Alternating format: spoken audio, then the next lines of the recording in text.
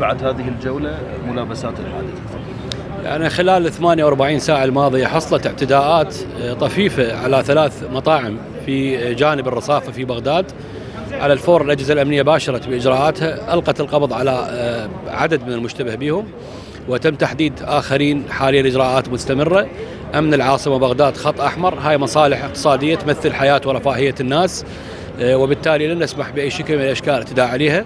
اليوم السيد وزير الداخلية حضر بنفسه وتم إعادة فتح المطاعم الثلاث الآن باشرت بأعمالها وإعادة مزاولة أعمالها.